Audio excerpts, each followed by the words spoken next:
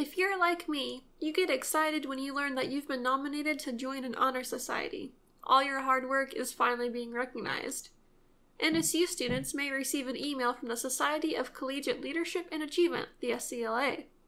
The SCLA offers video workshops, internships, and network opportunities designed to kickstart your career. But with a $95 membership fee, you may start to see a few red flags. While the services the SCLA can benefit its members, that membership fee is hard to come by. NSU offers most of these services for free, though. Career Services will happily help you network and build your resume. And with a high GPA, you can be nominated to join an on campus honor society, such as Alpha Chi, Rho Theta Sigma, or a society relevant to your major.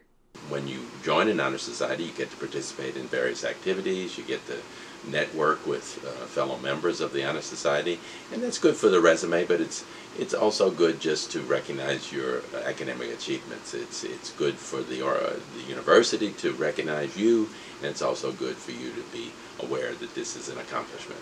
The SCLA is by no means a scam. You can benefit from their services if you work for it. But your money is very valuable.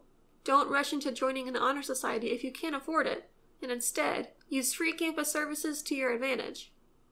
Ciera Steen, NSU Broadcast.